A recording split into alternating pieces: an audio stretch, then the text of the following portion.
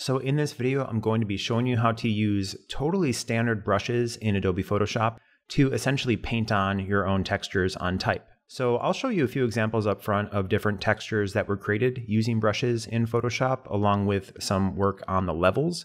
So this one is actually a square pastel brush, and then I have a couple different versions using airbrushes, which give fairly different effects there. This one was done using a triangle pastel, which gave it a really cool, gritty, almost paper-like texture. And then the one on the top here is from a watercolor brush. So these are not the sorts of visuals that you would come to expect from something like a watercolor brush, but that's where using levels comes in to really tweak this up and make it look super special. And if you want to use the exact same font that I'm using in this video, the font is called Old Erica, and it was actually given to me by a company called Heritage Type Co.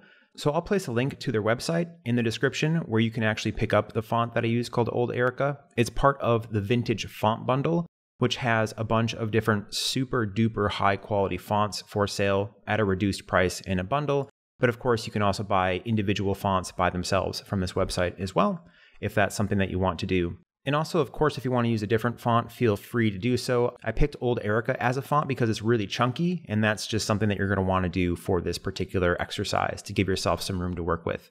So first up, make sure you type out your font, and the font will need to be sized appropriately to really get the good gritty texture in there because we're using brushes. So obviously the scale of the brush will affect how your overall texture looks. So just for reference, this artboard is 2000 by 2000 pixels with the type taking up the vast majority of the space. And you actually don't even have to rasterize the type for this, but if you want to do that, you can, or you could even import type from Illustrator or something like that. It really doesn't matter. The process should stay the same. So once you have your type ready to go and in your layers palette, just select that type and then hit Control J on a PC or Command J on a Mac to duplicate it and I will show you the reason for that in just a second. But in the layers palette of Photoshop, click and hold control on a PC or command on a Mac, and then click on the text icon in your layers palette, which will just select that type. And then I'm just going to contract that selection. So to do that, you go to select, and then from select, you go to modify, and from modify, you go to contract. And in my example, I used 15 pixels, but what number you use here is totally up to you.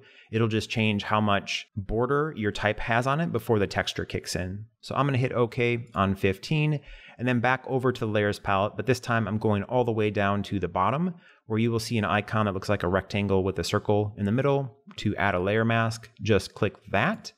And once you do, I'm going to turn off this duplicate so we can see this under here you can see that it selected out just the inner portion of that type, but we want essentially the opposite.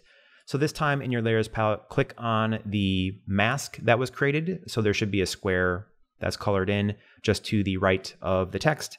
And when you click that, hit Control plus I on a PC or Command plus I on a Mac, which will invert the mask, which will give you an outline as opposed to just the fill section. And of course, if you ever want to turn off a mask, you can just hold shift and click on it to quickly see what you're up to. So now what I'm going to do is turn on the type below the visibility of the type that's below that outline once again by clicking on the eyeball icon in the layers palette. And then I'm also going to add a layer mask to this. So back down to the menu at the bottom, click add a layer mask in there, which will add that layer mask. And I'm adding a layer mask because that's where we're going to paint in our texture. So what I like to do is just have my fill set to black and the alternative set to white. That'll be very, very helpful for this. And also hitting D on your keyboard will do that by default. And hitting X on your keyboard will flip the foreground and background fill colors. So you actually want black to be in the front, so you can just flip that until black is in the front by using X on your keyboard. And then I'm going to hit B on my keyboard to select the brush tool. Alternatively, you can just click on the brush tool in your toolbar and then click in the top menu to open the brush preset picker. So from here are where all of the different brushes in Photoshop tend to live. And you can just go through here and find one that looks like it should have some really cool texture. The ones that I have found to work the best tend to be watercolors as well as pastels. And these should all be totally default. So I assume this square charcoal would probably work pretty well. There's some different watercolors here that also work really well. And I use these airbrushes, the soft low density and the hard low density grainy, So all the airbrushes looked really cool. They look very speckly and spattery, if that's the look you're going for. But I'm actually going to continue going down here until I get to the square pastel, because this is something that I don't think most people would expect to turn into a really good high contrast texture. But the way we're doing this will make it happen. So feel free to pick whatever you want to use. I'm going to use the square pastel, but you can totally play around with all sorts of different textures in here as much as you want. So I'm going to click that to select it, and then it'll bring up the square pastel in my screen. And what I like to do is use the left and the right brackets on my keyboard to very, very quickly make that brush smaller or larger, because obviously the scale of your brush will determine how it looks. I found for the pastel, the square pastel that I'm using, I like it to be almost as large as the font itself in terms of the square size, but up to you how you want that to look. And then you can either just click and hold and drag around some texture or alternatively, you can just click a bunch of times. What method works the best will obviously change depending on what sort of a texture your brush has. And of course, if you're using a pen tablet or something like that, you'll have a lot more control over how this looks. I'm using a mouse, which is why I'm clicking and holding and just clicking my mouse a bunch of times like I am. But with this, what I like to do is just brush on little areas of texture on the type. And I start by just getting a good starting point where I actually if you see some different contrast between the really bright and the darker areas, in terms of the square pastel, that's a look that I really liked. So I'm purposely trying to make that happen. If you're using a watercolor brush, which we can do after this, just as an example, you might not want that to be quite as pronounced. And also, if you want to remove things that you have filled in in this mask, just hit X on your keyboard to bring white to the foreground as opposed to the background. And then when you click a few times on here, it'll actually remove that texture as opposed to adding it back in. So you can go in here and start removing stuff as opposed to adding it back in.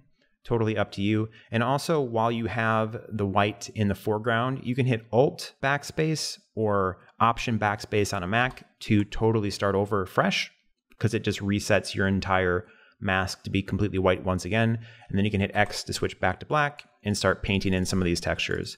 So I'm just going to try to make this look interesting pretty fast in a way that I think should work well for the square pastel. Like I said, I like having really defined borders on this. For whatever reason, it just kind of looks good to me because it looks sort of like a weird photocopy. And I just find that to be a fun look. So I'm just trying to go through here pretty quick. I'm just clicking, holding, and kind of wiggling my mouse a few times. And I'm going to switch this a little bit to start making some more contrasting areas here in terms of how this looks. And of course, you can use your brackets to continue to change the size of your brush to get even more distinctive looks. It can make it a little bit harder to make it seem entirely consistent when you do that, but up to you how you want your overall end product to look, so to speak.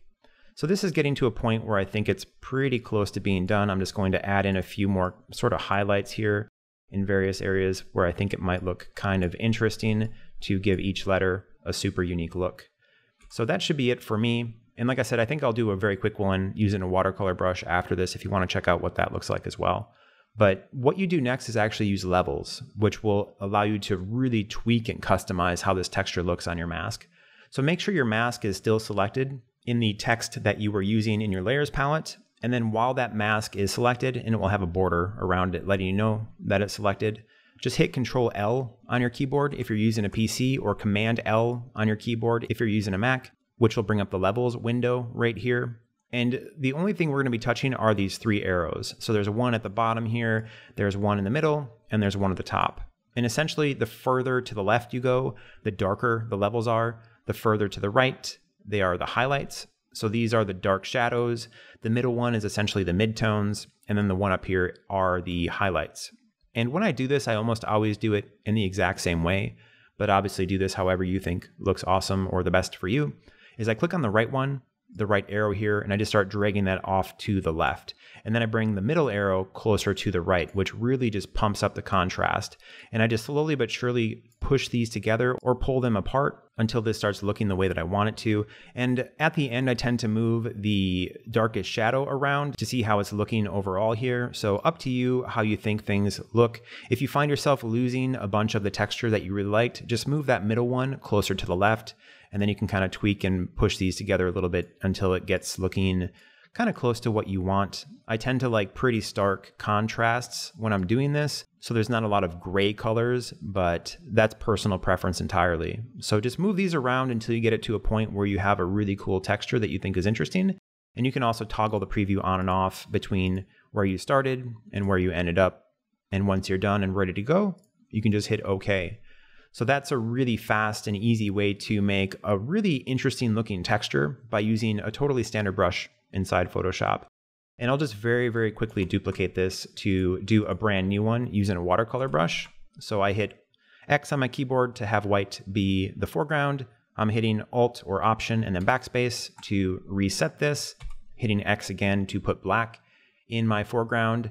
And then I'll hit B to bring up the brush, go back over here and I will scroll up a bit until I find some watercolors that I think should be kind of cool. And for the watercolor, I'm going to use, let's say watercolor salt, which should be a good one. I think I've used that one before. I think it's a bunch of really tiny little dots. I'm just using my bracket keys to make this bigger.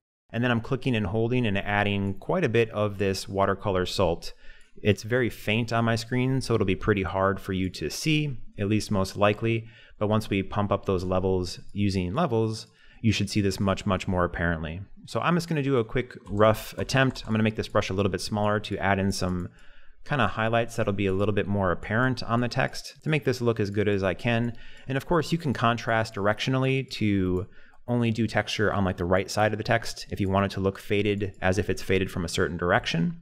And once you get that looking pretty good, just go back over to the layers palette, click on that mask, hit Control L or Command L to bring up levels, and then quickly go through here and just tweak these until you get it looking a way that you like. So this is a very, very different look than what we had previously. So it's almost like an old sign where paint had been eroded off over time and gave the appearance a very weathered look. So that's really it for this video. I do hope you found it to be helpful. I think this is a really fun way to make your text look far more unique and custom than just typing it out or even just doing a typical texture over the entire thing. So if you did find this video to be helpful, please hit the thumbs up button to like the video and let me know that it was helpful to you. Also, if you have any questions or comments, feel free to leave those in the comments section. Either I or someone else can give you some feedback or help depending on what you're looking for. And if you do want to see more stuff like this in the future, please consider subscribing. I do my best to keep creating new content just like this. But that is it for this video. Thank you so much for watching.